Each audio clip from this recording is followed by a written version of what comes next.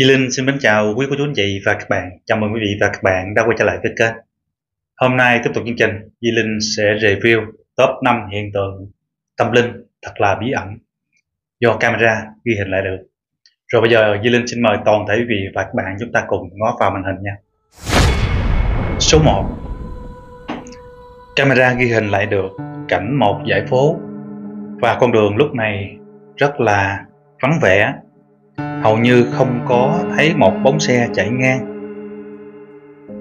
Ở đây là đất nước Việt Nam nha quý vị.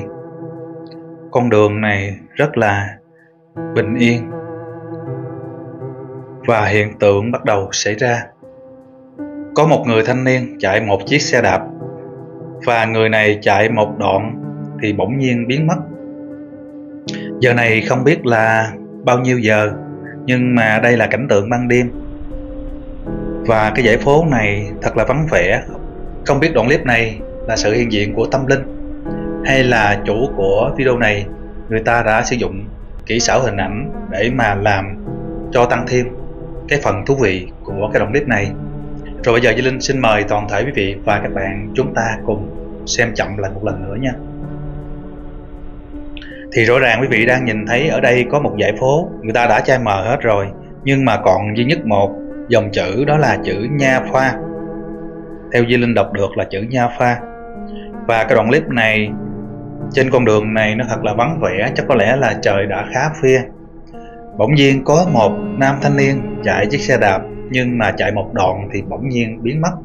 Đây không biết có phải là sự hiện diện của tâm linh hay không. Còn riêng cô chú anh chị và các bạn nghĩ như thế nào? Xin vui lòng để lại comment phía dưới nhé.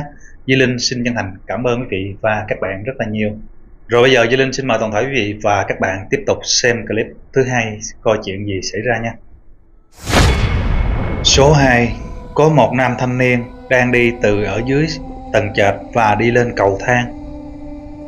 Khi anh ta đi vừa phức camera, thì bỗng nhiên ở phía dưới có một cái hình bóng mờ mờ cũng đi theo hướng anh ta đi lên cầu thang theo mình nhận xét ở trên cái video này, đây hiện tượng giống như là hình ảnh một con quỷ, chứ không phải là một cái vong ma.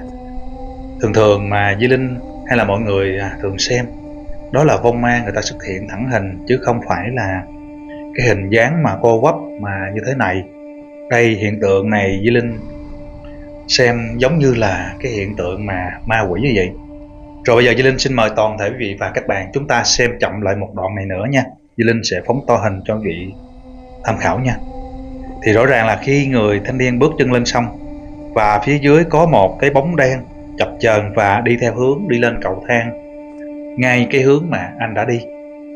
Không biết đây là sự hiện diện của ma quỷ hay là một cái gì gì đó mà con người chúng ta không nói lên lời được còn riêng quý vị và các bạn xem đoạn clip này có cảm nghĩ như thế nào? Xin vui lòng để lại bình luận phía dưới nhé.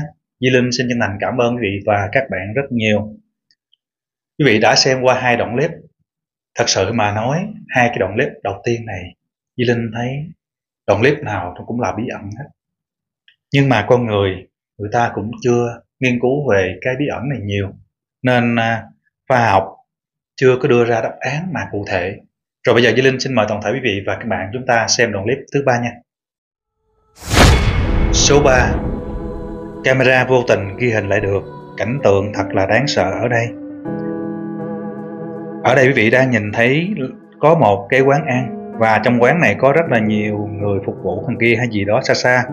Và sát cận cảnh màn hình nhất, đó là có một người phụ nữ đang ngồi ăn. Và xa xa đằng kia cũng có vài người đang ngồi ăn mà mình thấy nhân viên phục vụ cũng mấy người đó. Và cái người phụ nữ này đứng dậy và bước đi. Không biết là đi vệ sinh hay là đi thanh toán tiền hay là như thế nào đó. Thì ở đây quý vị thấy là có cái hiện tượng xuất hiện tâm linh hay gì đây? Đầu tiên là mình thấy là có cái vật gì ở chỗ cái ghế nó nhúc nhích. Kế tiếp nữa là gì?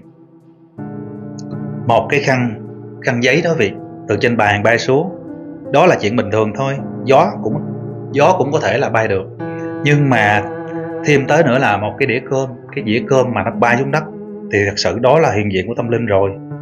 Tiếp tục nó là gì? À tới đó là hết hả? Rồi bây giờ Di Linh xin mời toàn thể quý vị và các bạn xem, Di Linh sẽ chiếu chậm lại và phóng to hình ra cho quý vị à, tham khảo.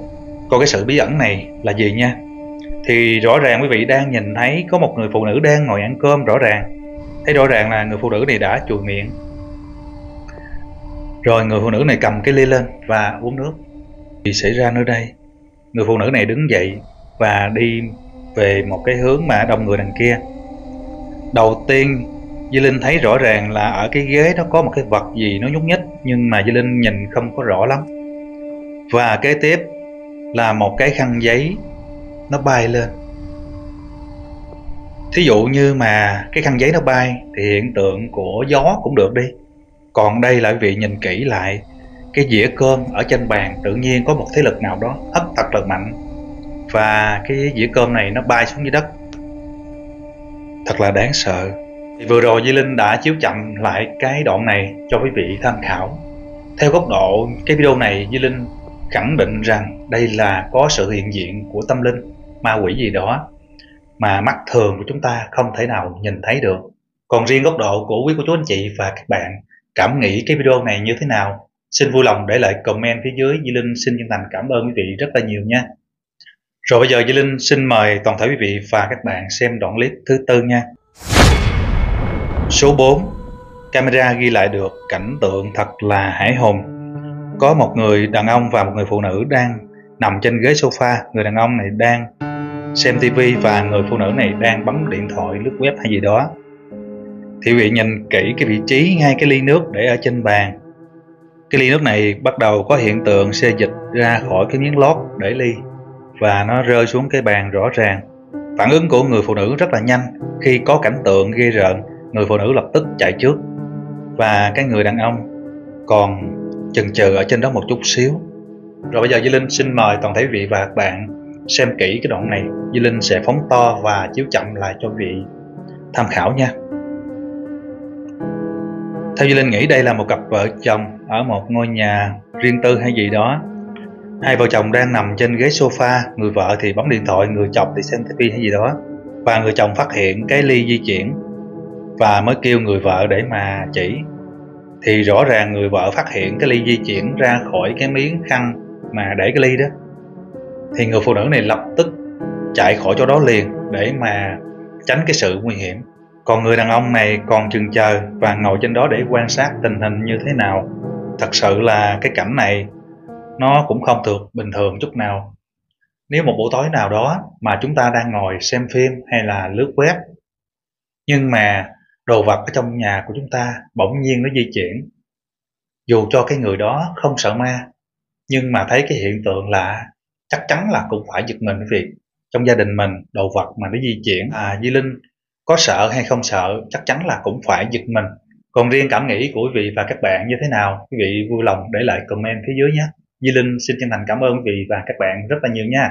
Rồi bây giờ Di Linh xin mời toàn thể quý vị và các bạn xem tiếp hiện tượng thứ năm xảy ra là gì nhé. Số 5 Ở đây quý vị đang nhìn thấy rõ ràng cái vật thể này xuất hiện nhưng mà người phụ nữ này chưa có nhìn thấy. Người phụ nữ này lo mải mê lau dọn cái khuôn bếp của mình. Khi mà cái học tủ chạy ra thật mạnh, người phụ nữ này mới giật mình và ngó qua thì cái vật thể kia nó lại biến mất đồng thời lúc đó quý vị nhìn thấy cái cửa tự nhiên đóng lại một cái rất là mạnh và cái người phụ nữ này đã ráng cố gắng mà mở cái cửa ra một hồi mới mở được theo như Linh nghĩ cái đoạn clip này là sự hiện diện của tâm linh, là có thật còn cảm nghĩ của quý vị và các bạn, như thế nào xin vui lòng để lại comment phía dưới nhé Di Linh xin chân thành cảm ơn toàn thể quý vị và các bạn rất là nhiều Vừa rồi quý vị cũng đã xem qua 5 đoạn clip. Cô chú anh chị và các bạn ấn tượng với cái đoạn clip nào? Cô chú anh chị và các bạn vui lòng để lại comment phía dưới nhé. Rồi, năm hiện tượng tâm linh hôm nay Di Linh đã review đến đây đã hết rồi quý vị. Rồi bây giờ Di Linh cũng không quên xin kính chúc toàn thể quý vị và các bạn luôn luôn được bình an và thành công trong cuộc sống nha. Bye bye.